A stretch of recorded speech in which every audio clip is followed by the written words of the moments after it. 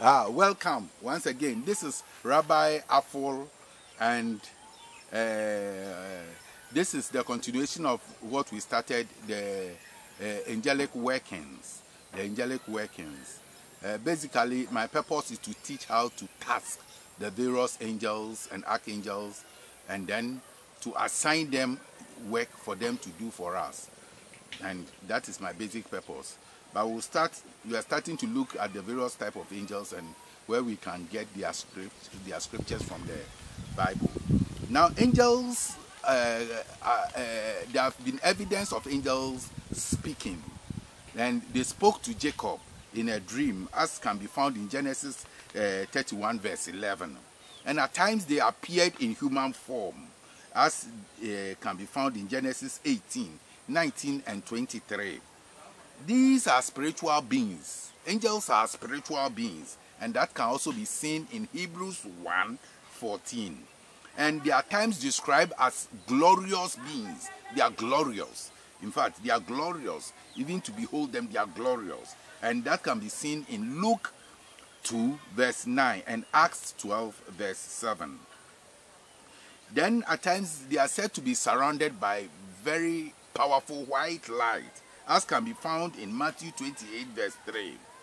The first angel that was mentioned in the Bible was uh, the angel who was tasked to uh, protect the Garden of Eden. And when uh, Adam and Eve sinned against God, and there was the need to drive them away, an angel was put in charge of the garden. And according to the scripture, he wielded a flame sword that angel was a cherubim. He was a cherubim. And he was tasked to uh, protect the Garden of Eden. In actual fact, angels are pure beings. They, are, they, are, they, are, they, they, they do not have the propensity to do evil.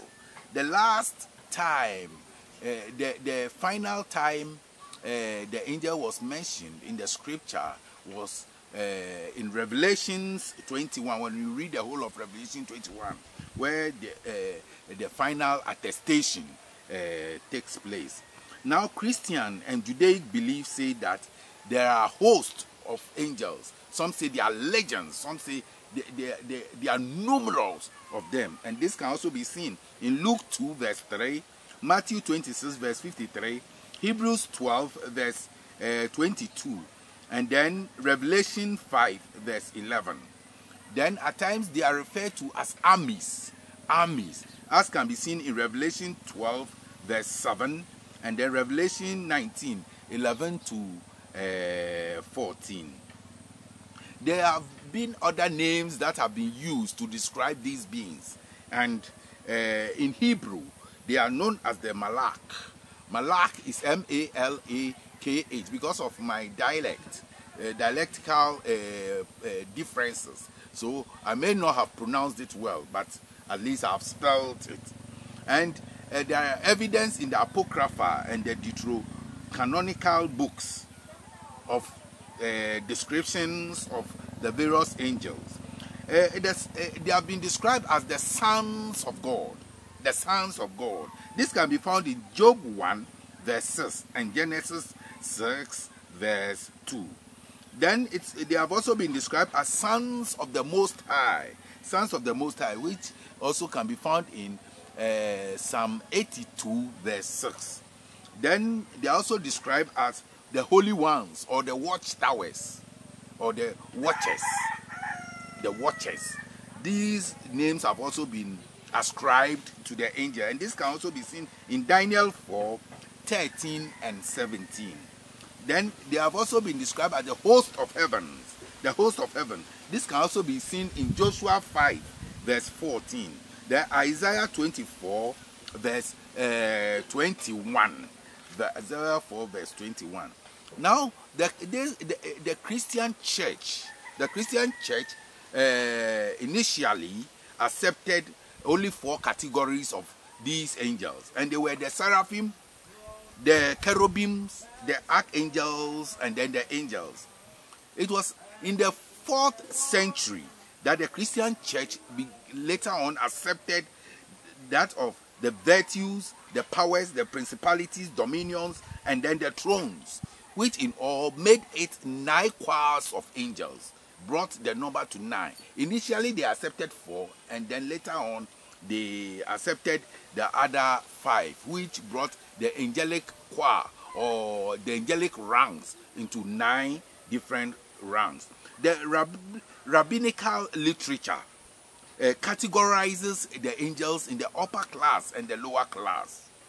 The upper class and the lower class. Now we have the cherubim. In the cherubim, the scriptures to back that of the cherubim were Genesis 3, verse 24, Psalms 80, verse 1, Ezekiel 28, verse 14, Ezekiel 16, verse Ezekiel uh, 16, 10, and then 2.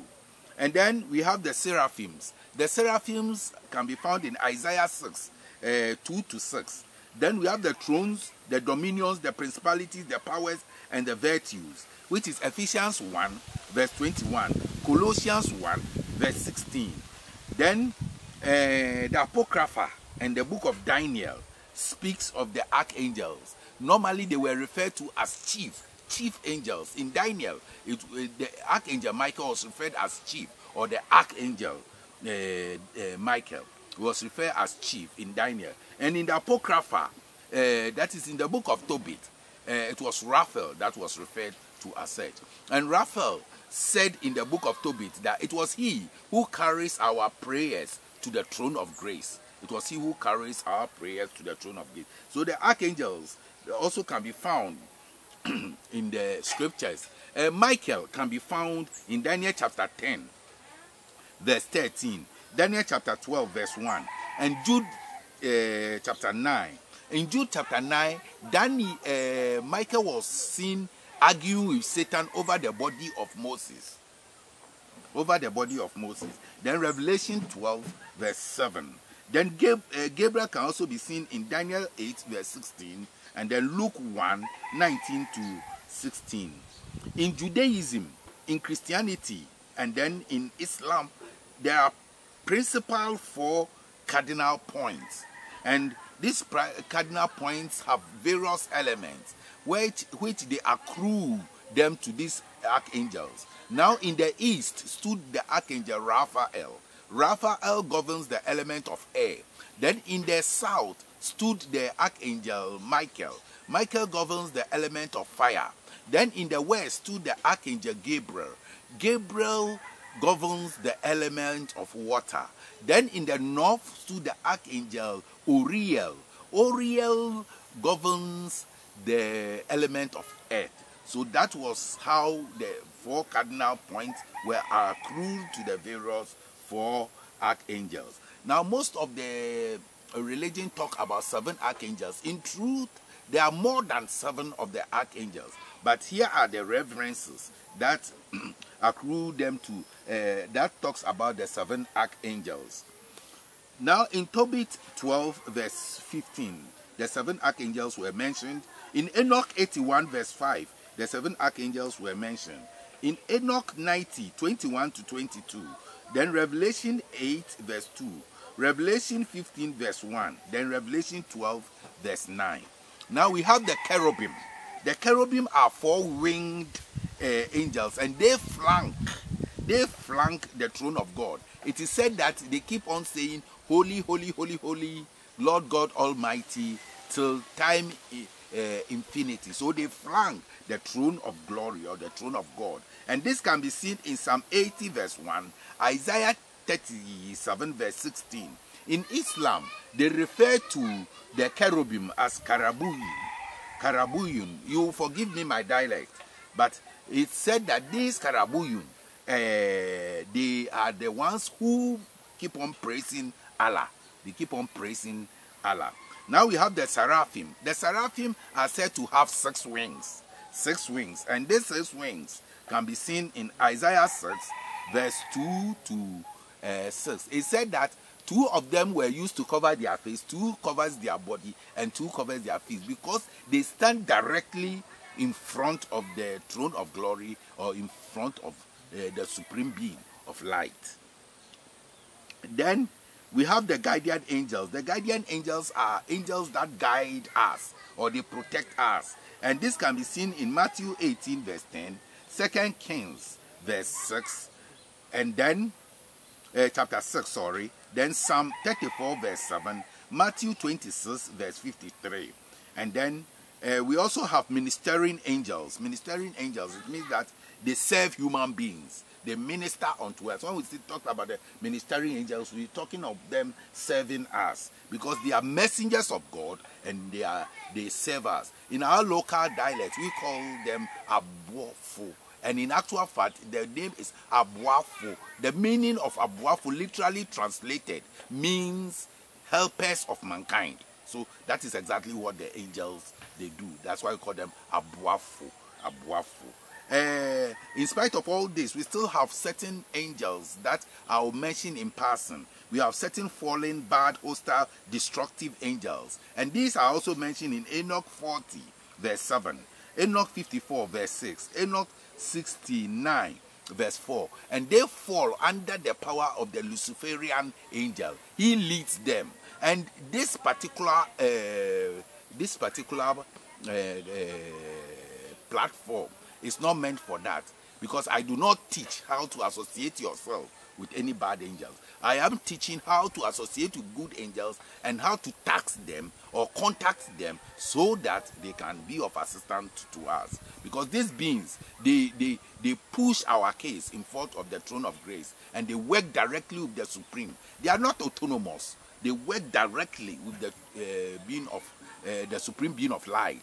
And so, because they do not have any propensity to do evil, it is, it is opposite that you assign them works that are good in nature because you don't push them to do evil.